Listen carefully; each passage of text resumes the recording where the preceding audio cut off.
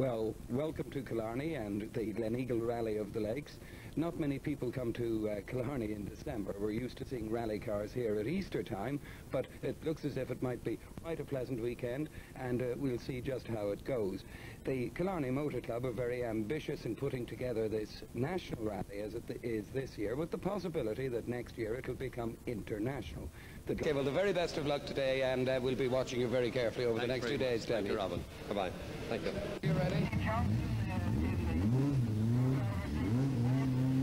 Fagan, number two seed. Um, you didn't finish last year, but the two previous years you did well on this rally, didn't you? Yes, we've had a third and a second, and last year we were five minutes ahead when we did an engine in. And the engine went uh, when you were well in the lead? We were well in the lead, yeah. Uh, how about this rally? I see you, uh, you're uh, thinking it's going to be dry weather, are you? You seem to be on intermediate tyres for the start. Well, I think that there's so many mountain stages that it can be dry and wet, wet on one side of a mountain and dry on the other side, so I'm just gambling on the, that fact and using intermediates. Well, uh, when would you have a, a, chance of changing them? Not till Kenmare then, is that right? Well, we have to do Moll's Gap, which the first half I'd say will be wet, second half maybe dry. Yeah, yeah, so it's, uh, the tyres are going to be critical then, are they? I'd say they will be with so little service and so many stage miles, yes. Yeah. Okay, how about the long stage tonight? Uh, uh what is your feeling about that? I'm not too worried about it. I like night rallying because I did an awful lot of night navigation rallying and I'm not too worried about the dark really. What's your general attitude about this rally? Are you very confident? I'm going to try and just pace myself and get to the finish. And win? Well, I think if I pace myself properly and don't have any problems, I think I won't be far away. Good. Well, good luck to you, Brendan, and we'll be watching all through the night. Thank you. Windsor, good to see you over from Liverpool. Uh, with, you have an awful lot of horsepower in that car. Are you going to be able to put it down in the conditions that look as if they're going to prevail here in Killarney? Well, I hope so. The design of the car um, is supposed to put the power down on the road better than a conventional car. And with these, we're using some new Dunlop tyres, and we hope we'll be able to do it. These last few outings you've had, you've had uh, so, uh, quite a few problems. Are you confident now that you're you're getting to grips with the car and uh, with its teething troubles? Yes, we spent the last three months basically doing development work on the car, and we've done a lot of testing. We've been in the forest testing with the car and on tarmac, and we hope we've sorted out all the problems we had initially. How do you feel about the long stage tonight? Are you looking forward to that? Yes, I think it's excellent. Uh, it's a great opportunity to do long stages. Um, mostly the stages are very short, four or five miles, but to get onto a good long stage is excellent. Well, you've got a very good seating, uh, right up in the top group. Are you very confident, do you think, this time, Paul? Um, we'll see, we'll see. It's a long rally.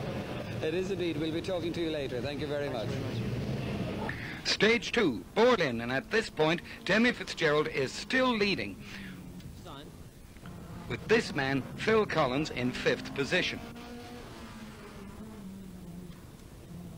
Paul Windsor, with the mid-engine Escort DR3, was finding that the gear lever was jumping out of third. But James Doherty and Michael Curley are giving notice that they are determined to do well. While Welshman John Price was holding third place with his Renault 5 Turbo. Frank O'Mahony demonstrates that he knows how to handle an escort. And Ian Corkle, over from the Isle of Man, uses the 3-litre Porsche to full effect. David McCauley and Elkin Robinson enjoy the rallying both inside and outside the car. And the only Scottish entrant is John Connor in another Chevette. Brendan Fagan's P.R. Riley Chevette shows signs of a quick patch-up by his service crew. Local men, Jimmy White and Mike Leary, wave their tail happily.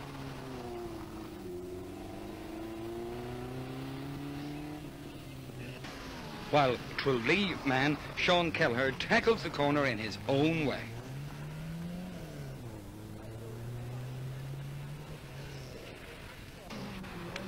David Gould is a bit too eager with the handbrake, and several problems have been compounded by his co-driver Johnny Flynn's sudden bout of flu, which was to cause their withdrawal at the end of the first leg, with only the Sunday run to look forward to.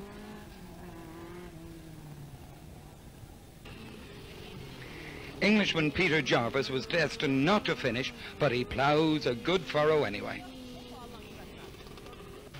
Noel O'Sullivan and Morris Nagel had fun with their old model Datsun 1200. But the similar car of Ger Brennan and Mike Coffey was about to meet trouble. Trouble like this and finishing up on a solid lump of County Kerry. Meanwhile, Sean Milan used the bank to good effect. But help was on hand for the maroon Datsun. Be ready now to meet the star of the rally and his vintage tractor. This farmer decided that pulling a car out of a ditch was no problem to him at all.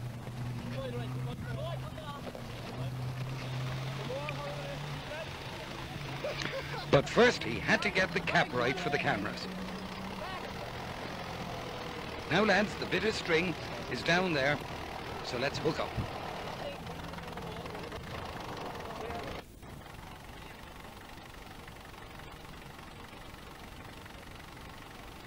Now they're all ready. Action is about to start. Stand by for this exciting moment. Beeve once. Come on, lads, again. And a third time. And a fourth. And a... it's shifting. Is it shifting? A bit more. Oh, he knows well what he's doing. And a bit more. And a bit more. Well done. So, with Joe Brennan back on the road, we wondered what his rescuer thinks of rallying. Oh, well, it's, uh, reasonably, reasonably good fun, you know.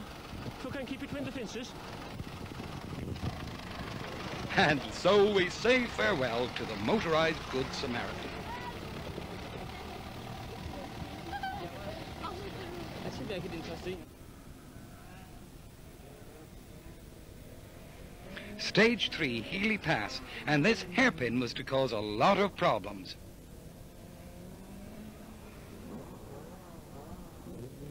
New leader James Doherty showed Englishman Phil Collins how to do it.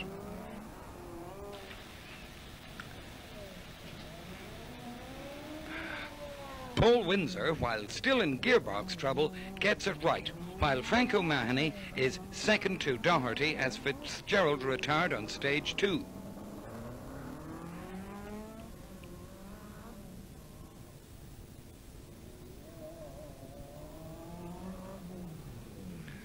John Price takes two cuts at the corner.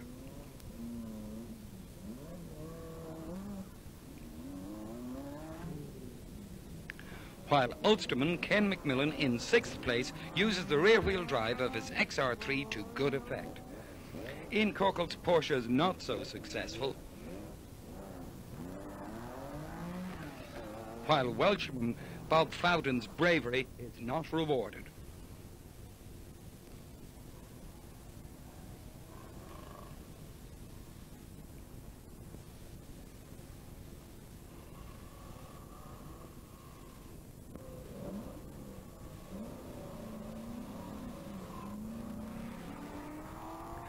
John Connor keeps going well. But Limerick's Ken Lyons gets crossed up.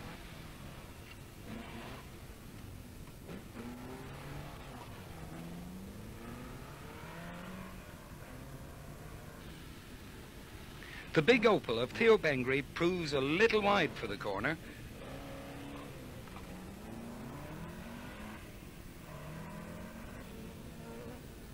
But really, Billy Daly, what have you done?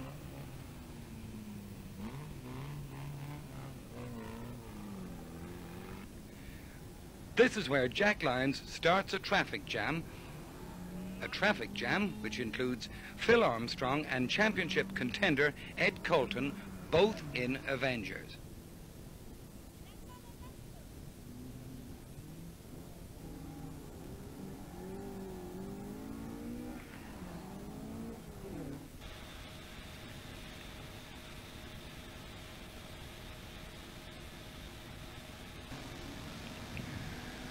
Higher up the Healy Pass, James Doherty, while now the rally leader, was being followed by Herefordshire escort driver Phil Collins.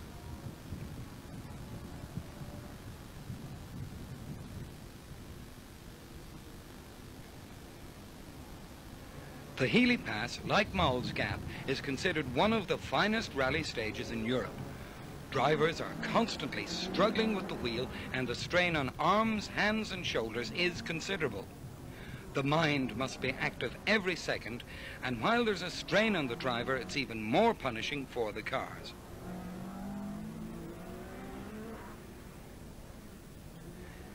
This year's Rally of the Lakes was run in three distinct legs. The start was from noon on Saturday to 6 p.m., with a six-hour rest until the midnight restart. Then the 30-mile stage was tackled twice with a 3 a.m. finish. The third leg started at 10 a.m. Sunday with a 6 p.m. finish.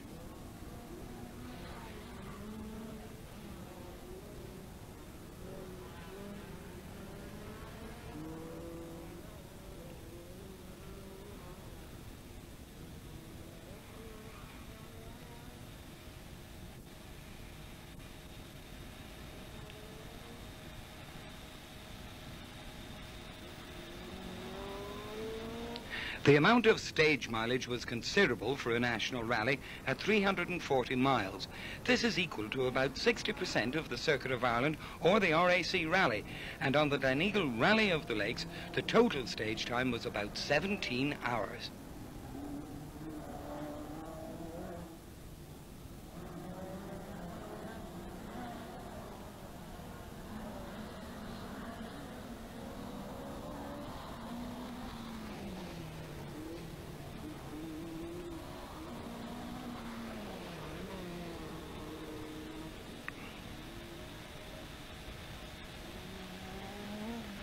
However, still on stage three on Saturday, Paul Windsor and Frank Rowlands in the much modified XR3 here lead Frank O'Mahony and Brian Curtin in their Escort RS 1800.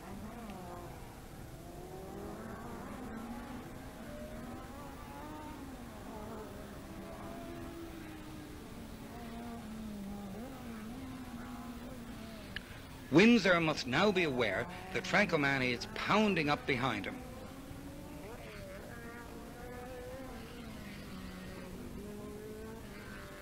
Windsor, knowing that he has a problem, will pull in at the first opportunity to let the flying cork man through.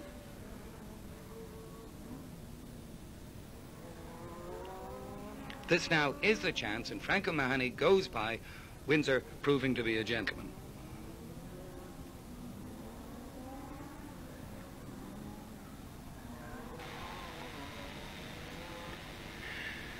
This car of Frank's won the first Rally of the Lakes in 1979 with Billy Coleman driving, and in 1980 Joe Buckley was the winner in a Vauxhall Chevette. The same Chevette won again in 1981 in Demi Fitzgerald's hands.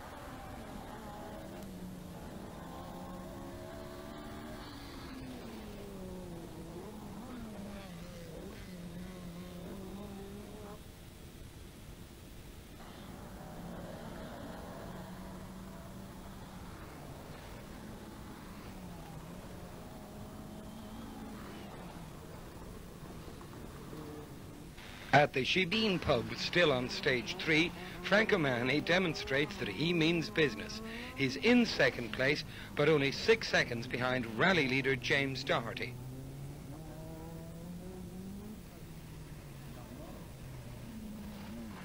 John Price demonstrates the superb handling of the Renault 5 is in third place, and David McCauley is fourth.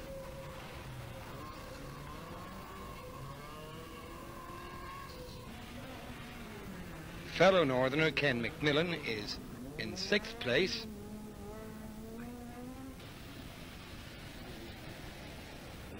And Ian Corkle here was still out of the top ten.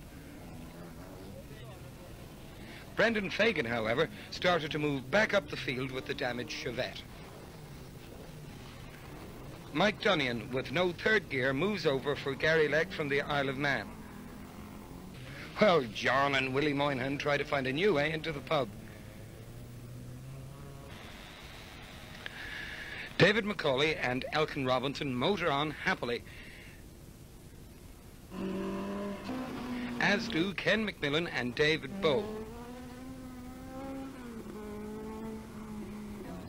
It's Ian Corkle's turn to go through now.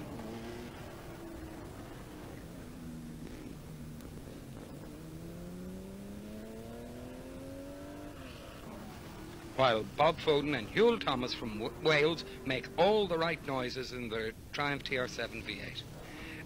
Brendan Fagan seems undeterred by the plastic windscreen, while Ken Lyons battles on well in Group 1. Welsh crew Andrew Stark and Hugh Davies are destined not to finish. While Jerry Leck and Martin Quinn are other overseas visitors. Mike Dunnion will be glad to see service at Kenmare to fit a new gearbox. Young Theo Bengry is really enjoying his first Irish rally. Sadly, Killarney Auto's Billy Daly will be another retirement. While that other Daly, Dan, is steady in his big dancing. It's hard work time for the service crew in Kenmare.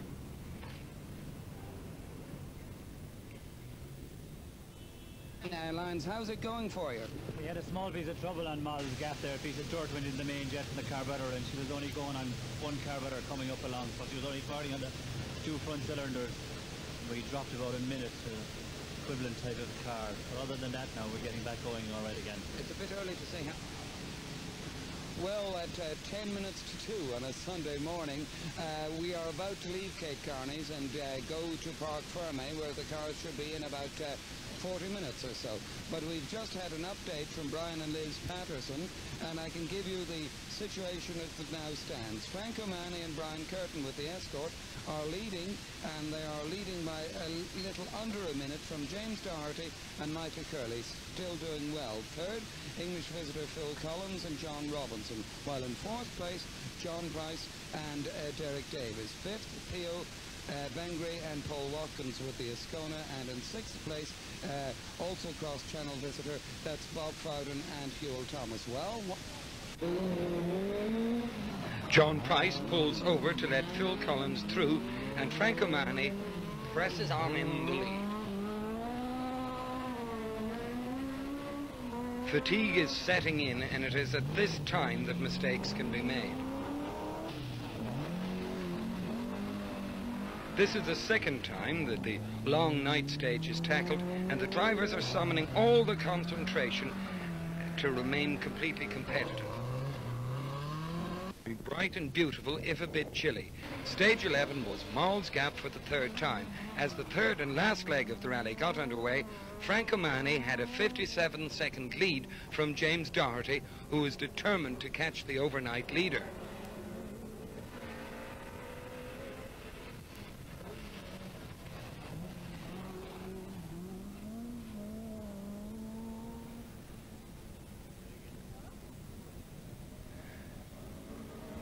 Phil Collins was a good third after Price retired during the night.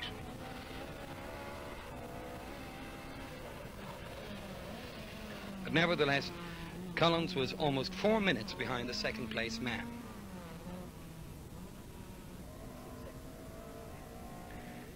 Theo Bengry was now fourth.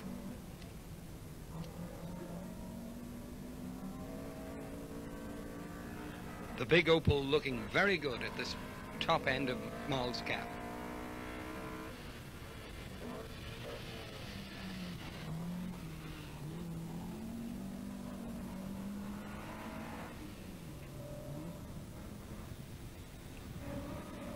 And this is Bob Fowden slinging around the TR8, confident of catching the Opel.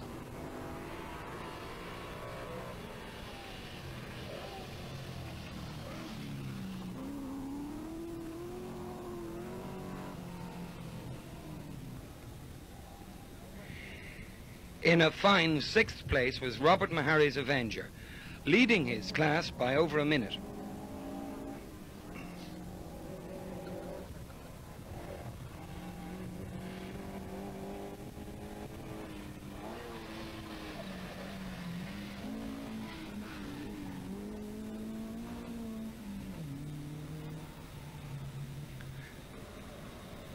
However, in seventh place was Philip Armstrong chasing the same class lead held by Meharry.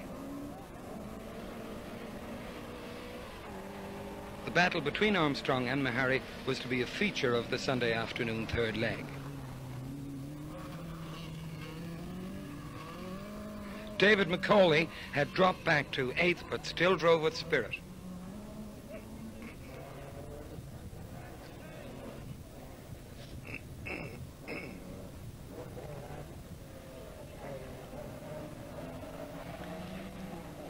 Ian Corkle in the Porsche, who was just outside the top 10 before Moll's Gap, slipped nicely past Group 1 leader Ken Lyons, who is anxious to win this class and get his lead in the national championship.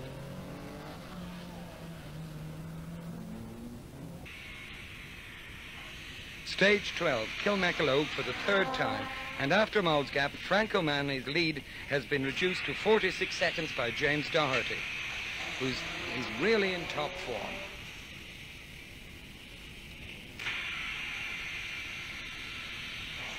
Phil Collins retired in Moll's Gap after a fine drive, allowing Theo Bengry into third. But he also is under heavy pressure from Bob Fowden.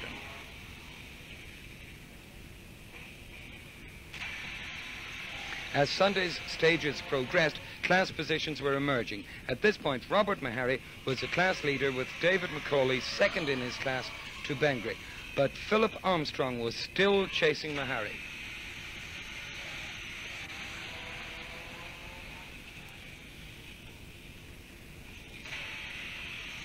Ian Corkle was keeping the Porsche well wound up, but was third in class.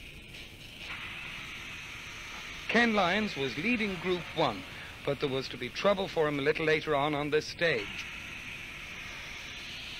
Sam Hawkins was not too far behind, but his clutch was starting to give trouble.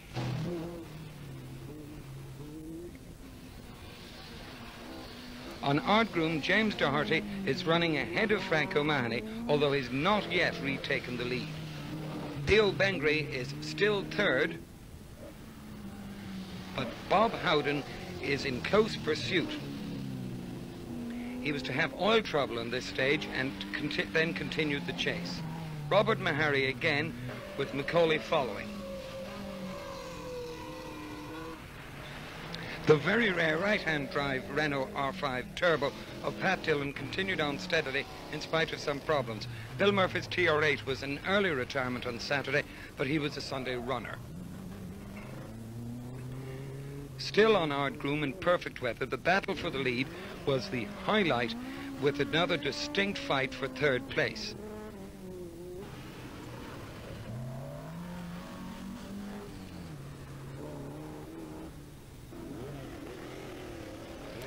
Ian Corkle was now in eighth place. And Mike Dunnion held ninth and a class lead. By now, the Group 1 leader was Sam Hawkins, with Barry Duggan second in that class.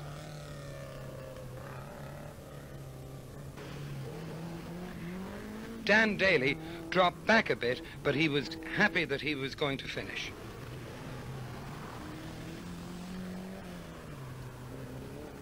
While Joe Butler had a big class lead. Another happy man was Ed Colton with the championship in his grasp.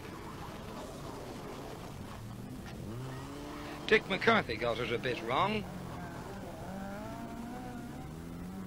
but rejoined and followed one of the Sunday runners. Ron Neely enjoys his rally, and he was a class leader.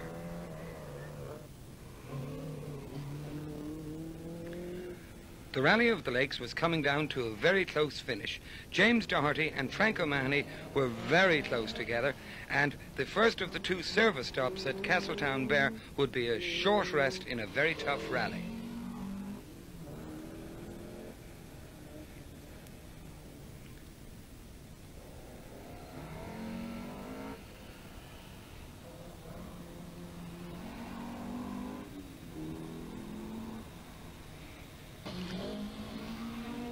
But Frank O'Mahony was still very much in business, and whoever won this one would be a very tired man.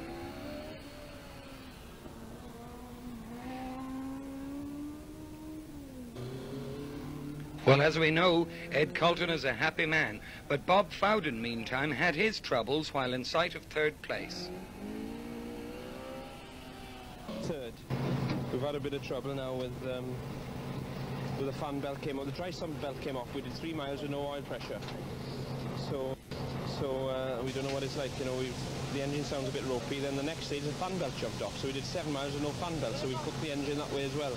But I don't know how we're doing. We were taking about a second a mile off Bengry, but um, the last stage, I don't know. I think we dropped about 30 seconds to him. So we might be in fourth place. I don't know. I, I don't know yet. Well, we went out, we made the tire, wrong tire choice, we went out on intermediates and should have been slicks, obviously, and uh, we couldn't get the service van in time to get him back on, so we only got on slicks on the last stage, and uh, we, we had about roughly the same time as James on that, but we were down a lot on him at the moment. We'd lost most of our lead, I would think. So you're trying to sort all that out now for the final run this afternoon? Yeah, well, we're on six now, we'll see what'll happen if we can, if we can stay with him or not. We leave you to your work. You're a bit... On Healy Pass, it was obvious that James Doherty was making his final play for a win. A sticking gearbox made changing difficult, and he was troubled by blisters on his left hand. Bengry was running second on the road, while in a tenuous third place.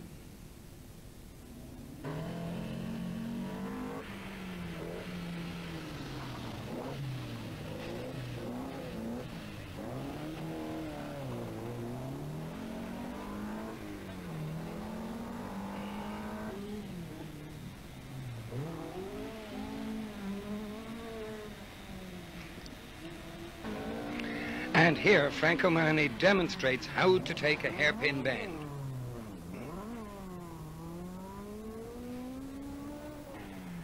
Robert Meharry was another man under pressure, and his sixth place was uncertain.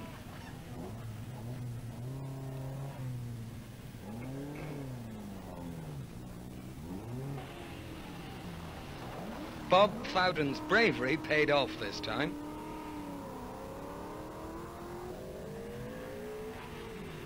While Dan Daly was as neat as always. Michael Cremin was also a master of this corner. Conward's Mini was second in class. And Sunday run leader David Gould had to take a bit of avoiding action.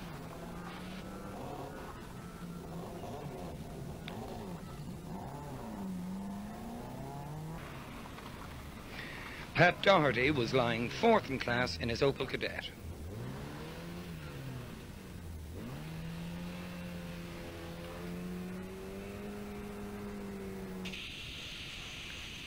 Further up the stage at the Shebeen, the drivers were tail happy.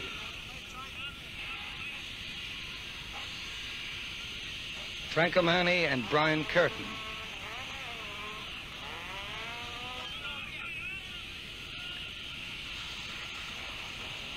Theo Bengry. And Robert Meharry moves over for the still fighting David McCauley.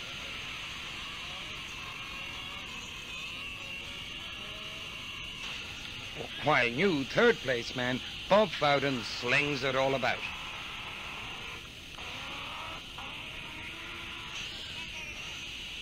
Mike Dunnion keeps up this trend. While Sam Hawkins follows through.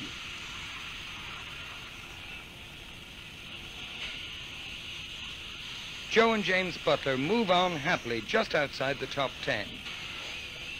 Ed Colton is full of confidence.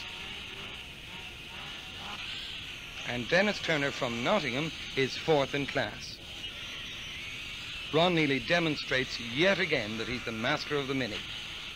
Jimmy White with a new head gasket was second in class and the leading local driver. At the end of 16 stages, James Doherty led by 14 seconds and was very confident. Frank O'Mahony was very disappointed in second place, and Theo Bengry had been relegated to fourth by new third place man Bob Fowden.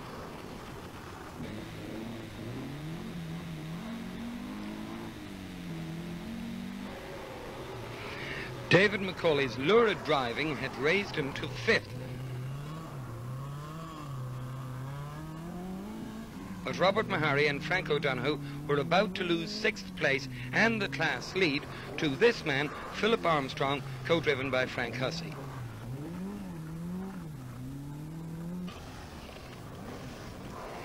Ian Corkhill was still eighth. And this is Fowden running out of order.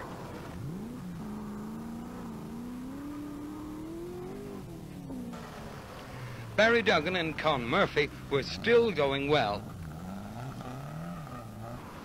And Sam Hawkins showed a little tiredness.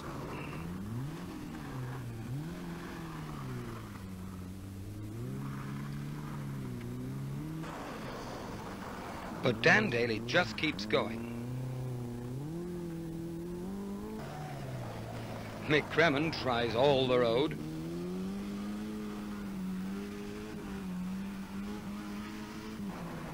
And Jeremy Barnes from Birmingham uses little more than he should.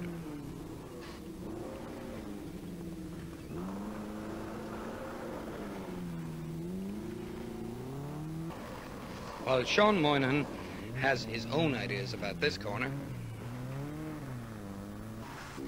Conward in the Mini is still ahead of Mike Parks. Pat Doherty takes it easy, while Fergal Eef and his sister Aideen are second in class in their Fiat 128, and they slip by.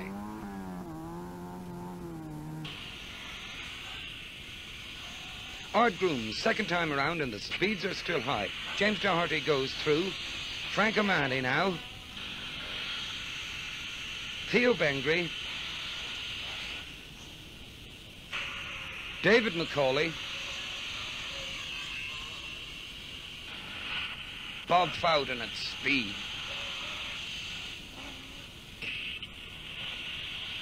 Ian Corkhill. Sam Hawkins, chased by Ed Colton, and followed in turn by Dan Daly. Cod's Head, second time around, and the drivers enjoy the last of the bright sunshine. James Doherty powers on happily.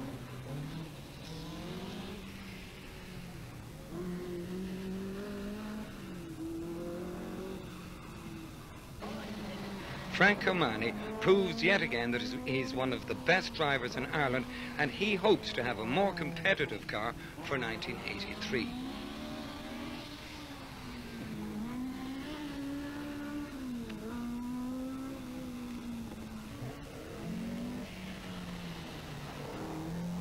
Theo Bengry enjoyed Kerry very much and will be back in Ireland very soon.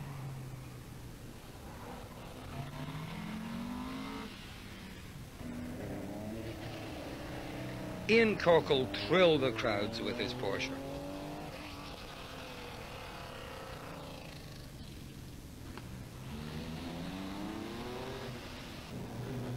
And Sam Hawkins and Sean Hanley could see the championship within their grasp. With two more stages to go, James Doherty could almost taste victory. These next two stages don't worry you. What, 14 seconds uh, ahead at the moment? That's right. Well, you know, we've been taking a few seconds uh, off, as I said earlier, in the daylight. And I think we'll have enough of daylight to take a few more on Tim Healy. And Miles, and we, just, we took time off from in the dark in Miles last night, so we'll just play it, you know, keep on the pace. You're licking your lips and that everything's sorted out for you. Well, I think so. My, that's my navigator's job, really, not mine, but I think that's sort of the way it looks. Well, we know by 8 o'clock exactly what the situation is. Sorry I'm squeaking here. Uh, we'll know, as I say, round about 8 o'clock exactly what the situation is. But those of you who are here, I think you ought to give James Doherty from Limerick a good big cheer because it looks as if he's about as won the Gleneagle Rally of the Lakes for 1982. 36 seconds going into the last stage. And I think we've taken time off him along with that. Good, so that's very satisfactory for you. James has had a rotten year uh, rallying and uh, everything's come right at the right time. Good for James. Okay, we'll be waiting now for the other cars to come into us in a moment. Uh, we landed very hard on a yump on the uh, groom stage this evening and we bent the front suspensions and steering and she hasn't been handling as good as she was since then, you know. But uh, other than that, we had no great great problems. That was the only mechanical problem we had. Well, how has the rally been for you? Have you enjoyed it as a rally? Well, I have enjoyed this rally. I would say, certainly say it's one of the toughest rallies I've ever competed in. Uh, the amount of stage mileage in such a short time and long stages, it certainly tests the mental machine anyway. Well, you really have to work for your second place. And you look as if you're sweating a bit. Uh, that was some heavy going, was it, in this big Triumph TR8? Yeah, it's very hard going. Too narrow for the car. Very, very hard going. Very tiring. Uh, are you uh, surprised with the result? Did you uh, imagine that you'd finish uh, in the first three? Uh, quite surprised. Um, we were doing well on the, on the Cork rally, and, and we thought we'd be in the. We were lying about fourth on that, so we we thought we'd like to, we wanted to finish in the top five. It's what we wanted to do. First time, second time over here. Bob Fowden and Rallies all over, bar the shouting. The thousand pounds first prize, of course, has gone to James Doherty and Michael Curley in the Chevette HSR. 58 seconds behind were Frank O'Mahony and Brian Curtin, the Caltrone sponsored Escort. Third were Bob Fowden and Hywel Thomas in the Triumph TR7 V8, the first overseas crew home. Sam Hawkins won the Group 1 section, co-driven by Sean Hanley, and clinched the class win in the championship. Mike Parks and John O'Reilly from Sligo won the small class in their VW Polo. Tom Brown, Robin Rhodes, the voice of Irish motorsport. We've had great fun in this rally, but time co comes that we have to go, and I'm on my way now, so good luck.